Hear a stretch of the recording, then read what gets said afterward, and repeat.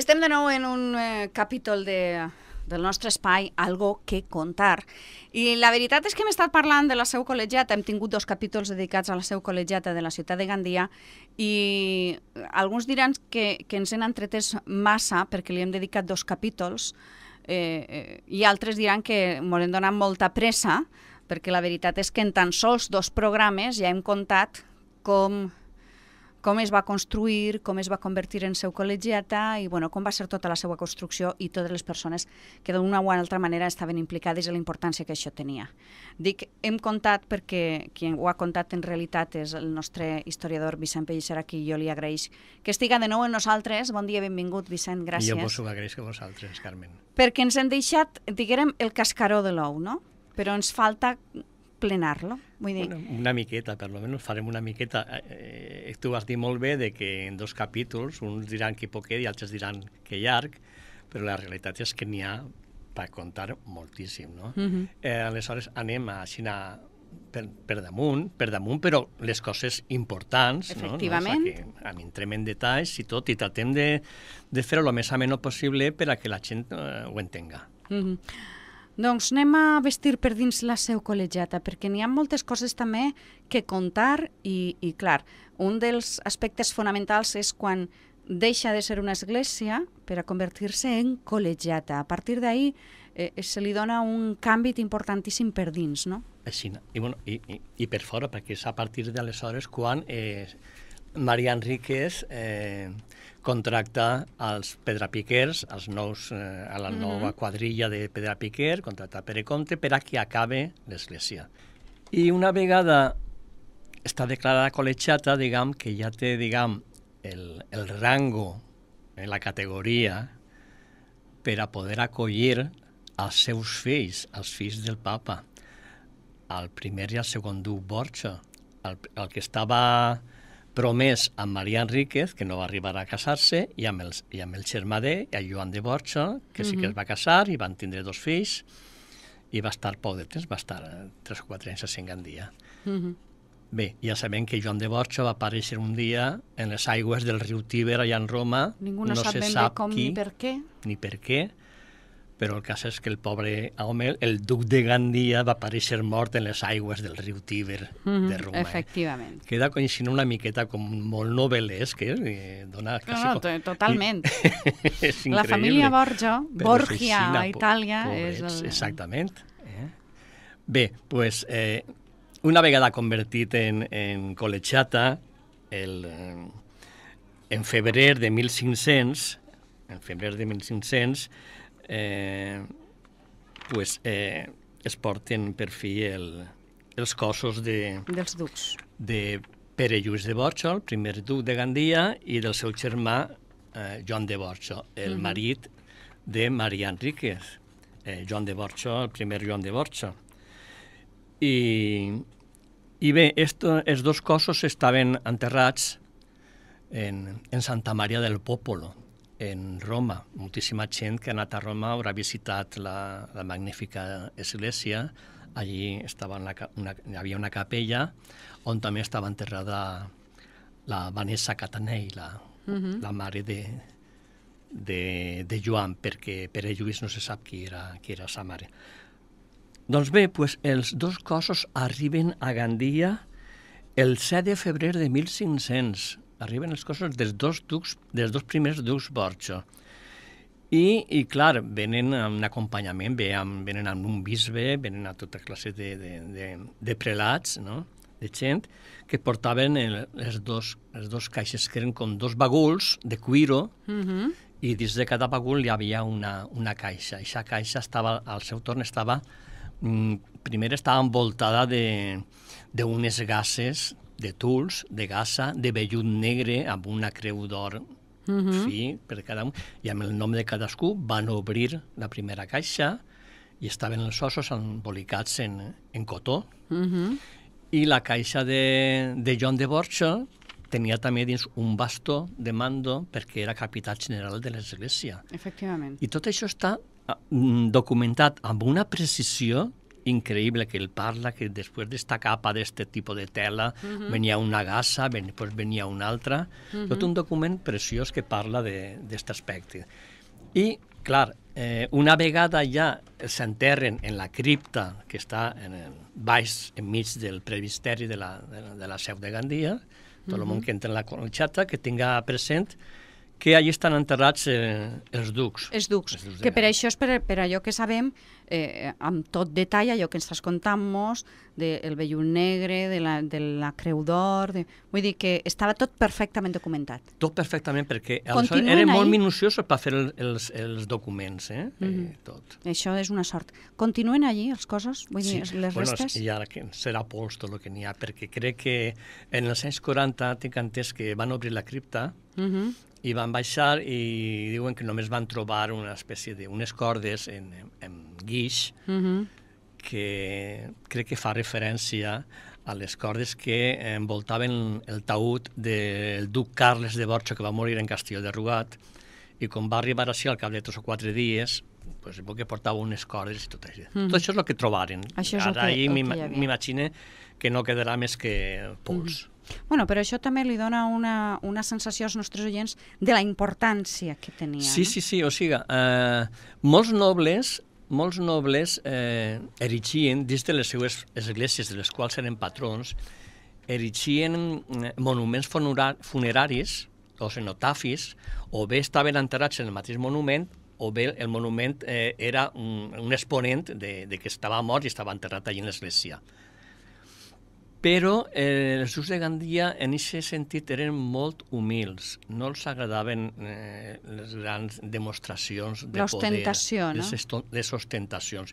I en aquella època era una cosa molt, molt normal en, dins, del, dins de la noblesa de construir eh, monuments funeraris o sepulcres funeraris dins de les esglésies. Uh -huh. I la veritat és que, això per un costat, però per l'altre, és que tota la col·legiata és un monument funerari és el, és el panteó uh -huh. ducal dels ducs de Gandia. Uh -huh. Bueno, no està mal, no això està és mal. que, clar, això tenim que tindre-ho en compte, sí, perquè molta clar, gent no sap que allà estan saber. enterrats els ducs de Gandia. No, no, no, segur que no. I les això dones, i els, i els nets, i els nebots, i vamos... Allí, allí. Eh, Eixa és una part important i capdalt per a, per, a, per a entendre moltes de les coses que hi ha dins de la col·legiata, però així n'hi ha també moltes coses i moltes llegendes del que hi havia, del que no hi havia, de si es va destruir o no, com i de quina manera.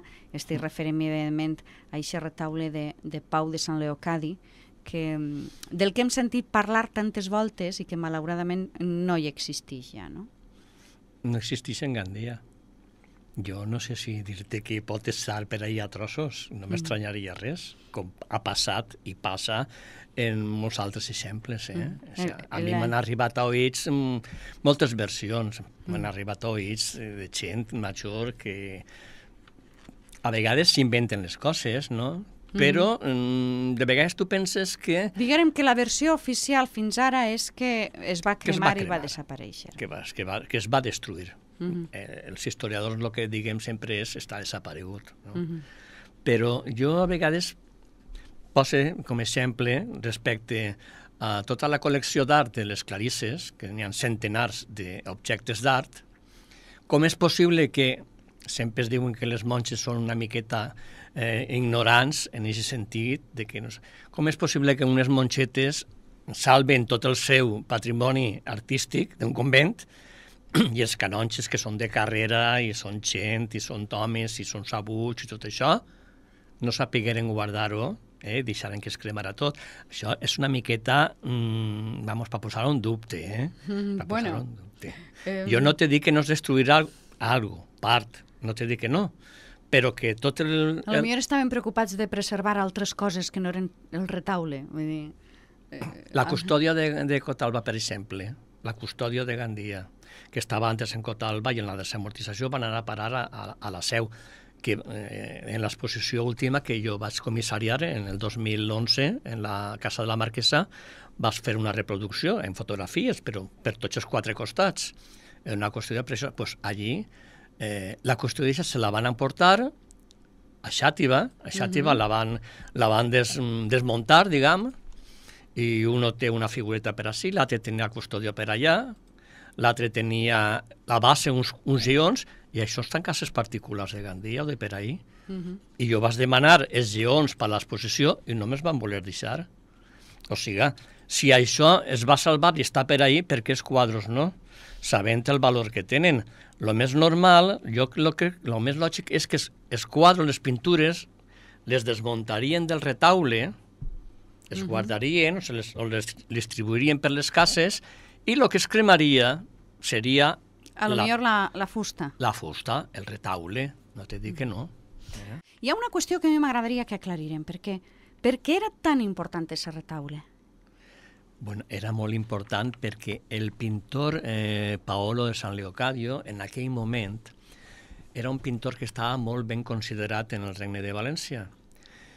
Ell, molts anys abans, o sigui, en 1472, pense que el 73, sí, 72 em penso que va ser, va vindre acompanyant el que aleshores era el canciller de l'Església, diguem, el primer ministre, que era Roderic de Borcho, el que després va ser Alexandre VI. Uh -huh.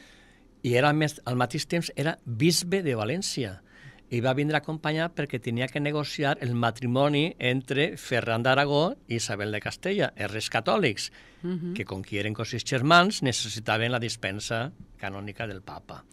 I gràcies a ell es van poder casar. I gràcies a ell, eh, diguem que els, els reis catòlics li devien a ell un favor i el favor va ser fer duc als seus fills i vendre-li el ducat de Gandia. O sigui, que Mm, van, van haver un intercanvi ahí, eh? Mm -hmm. una transacció econòmica, diguem, nobiliària. Bé, eh, entonces, Paolo de San Leocadio era un pintor vamos, de, de segona fila eh, d'Itàlia i va vindre acompanyat de dos pintors més majors que ell. Eh? Va ser eh, Ricardo Cartararo i l'altre Francesco Pagano. Uh -huh diguem que eren gent que tenien més, més experiència que ell, perquè era molt jovenet i tenia 20 anys, per ahí, mm -hmm. 20 o 21 anys. 1472 fins a 1500, eh, 1501, que és quan Maria Enríquez eh, firma un, un, uns capítols, un, un protocol, un contracte, eh, per a que realitze el, les pintures del de la... retaule de, uh -huh. de la Seu, ja era Seu, col·legiata, que havia fet el mestre Forment. Uh -huh. o sigui, aquest és el document per al qual sabem que els Forment estaven treballant en, en, en la col·legiata de Gandia. I en, i en aquest contracte li estipula eh, que té que fer eh, les pintures eh, en base a, a l'advocació de set goig de la Mare de Déu. En, eh, dalt de tot, en el centre, té que estar el Calvari, dalt del Calvari la figura de Déu Creador, en el banc, o sigui, la part més baixa, quatre escenes de la Passió. Uh -huh. I en les polseres, o sigui, el que són els laterals, que es diuen polseres, una sèrie de sants.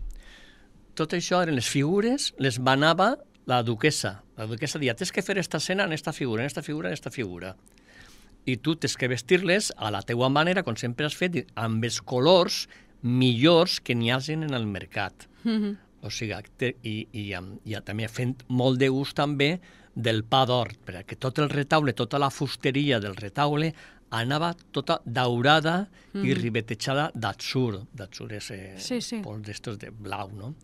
i ahí gastava els millors verds que n'hi havien, els millors blaus, en lápis lazuli, que era el més car que hi havia. Uh -huh. O sigui, que era un retaule mm, grandiós, majestuós, monumental i esplendorós per la qualitat dels materials que s'empleaven i, a més a més, per lo que tu me dius, que quina importància tenia, perquè Paulo San Leocadi en aquell moment estava considerat, diguem, com un gran pintor en el regne de València. Era italià, uh -huh. no ho havia dit, havia nascut en, en Reggio, en, mi, i eh, en Reggio Emilia, i eh, proper de Ferrara, i es va ser el que va introduir, diguem, en la pintura els elements del Renaixement italià. Uh -huh. O sigui, ell era un pintor que estava encara a cavall, un pintor una miqueta híbrid, estava a cavall, entre el Renaixement italià el renaixement també del nord d'Europa, el flamenc, no? uh -huh. diguem una miqueta medieval, però amb molta mena de detalls. Eh? O sigui, tu ves una pintura com si fos una miniatura, veus tota mena de detalls, les floretes, els pardalets, eh, tot molt detallat, mm, diguem que està a cavall, però que va introduir els primers elements renaixentistes dins de la pintura. Uh -huh. I per altra banda, dins de lo que és l'escultura o, eh, diguem, l'objecte d'art en tres dimensions, el retaule de, de Gandia, el que és la fornícula, la hornacina, uh -huh. on estava enmig la Mare de Déu de la Seu, estava enmig, que també la va daurar Pau de Sant Leocadi.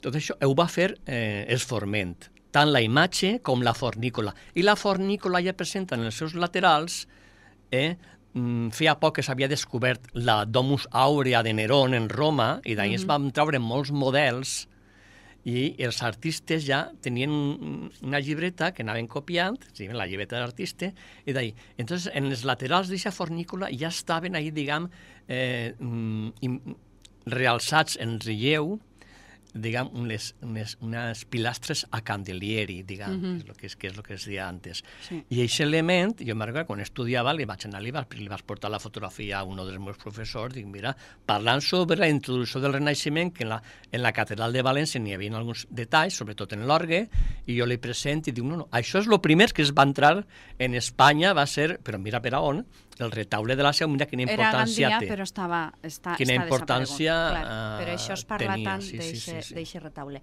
Eh, molt poc de temps, es queden apenas uns minutets, així Ai, és que ràpidament anem a parlar d'alguna coseta més de, de dins de la Seu, perquè n'hi ha algunes qüestions importants, com per exemple, eh, fins i tot està documentat la importància del canvi de la cera o de la il·luminació en la pròpia Seu quan va passar d'església sí a seu col·legiata. A seu col·legiata, clar, és que això, això es va tindre molt en compte durant tots els documents, fins, inclús fins al segle XIX, eh? n'hi ha mm. alguns documents que al parlar sobre diguem, la, la representativitat eh, de la que és la col·legiata de Gandia, en, en, per exemple, les cerimònies, per exemple, sempre moltes vegades se diu, segons la matriu, mm -hmm. la matriu és la catedral de València. S'ha de fer tot eh, sobre la, com si fos la catedral de València.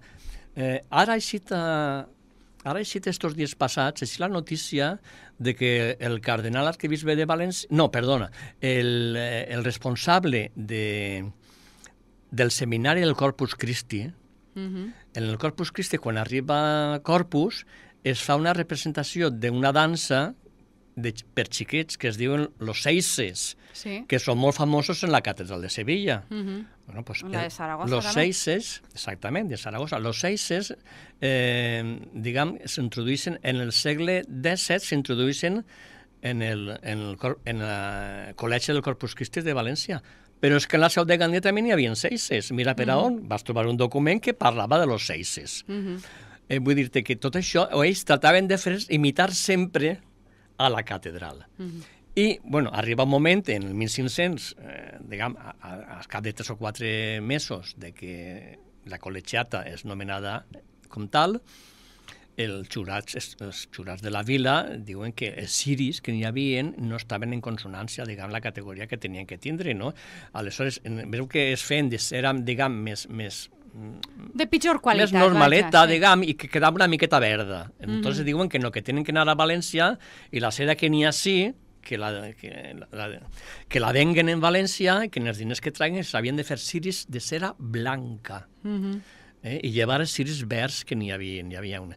I hi havia un ciri, perquè eh, tenia que estar en consonància, ho diuen així, tenia que estar en consonància, amb els nous usos eh, i que així singa allà per a sempre i que el ciri vermell, que diu així, vermell, no diu roig, que havia en, en el cor de Crist, cor de Crist es referien al, uh -huh. al sagrari, que el posaren en un altre puesto.